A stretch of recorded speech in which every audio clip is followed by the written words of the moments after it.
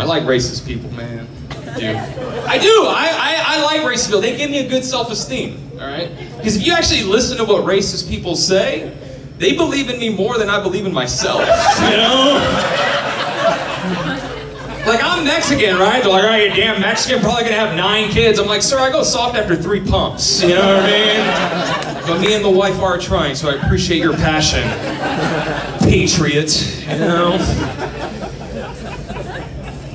But I gotta be honest, man, woke people give me a terrible self-esteem. Because woke people make it seem like brown people can't succeed unless they help. You know what I mean? Oh. Fuck you, let me finish, alright? It's true, I have this friend, right? He went to Stanford. His name is Brad. He's very woke, right?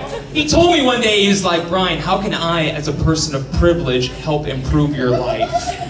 I was like, why don't you pay me back the 80 bucks you owe me, dude? You know what I mean? Let's just start there. It's true, man. And it gets more divisive, like like during election season, right? We just had an election, right? I love how like woke people try to make it seem it's like it's the racist choice versus the non-racist choice.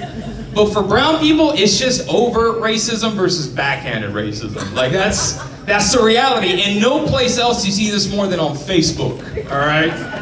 Like I was on CNN's Facebook page and they had a video of Trump at the Texas border, right?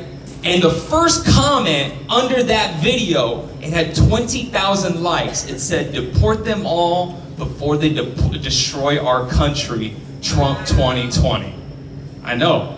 The first comment responding under that had 50,000 likes. And it said, what are you Republicans afraid of? All these Mexicans want to do is just come here to pick your fruits, cut your grass, and wash your cars. Biden 2020.